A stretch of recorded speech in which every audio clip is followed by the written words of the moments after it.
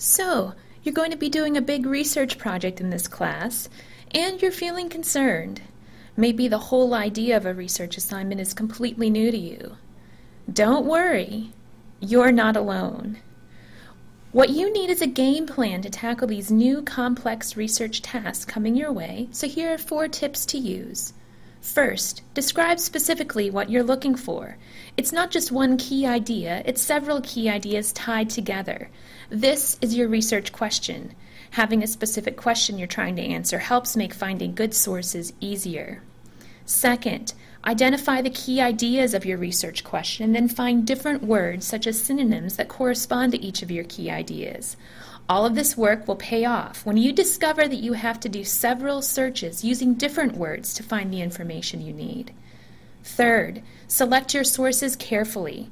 You'll be expected to go beyond general web search engines and use specialized college level resources like research databases, which work differently from other internet searches with their multiple search boxes and other powerful searching functions.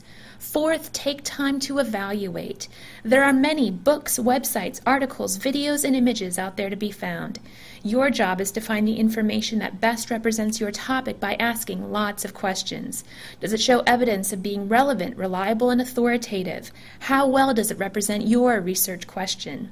So, to recap, the four tips for doing research assignments successfully are create a question, come up with different words for more searches, choose your sources carefully, and evaluate everything.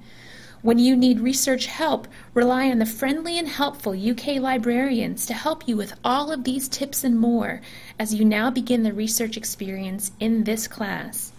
See you soon!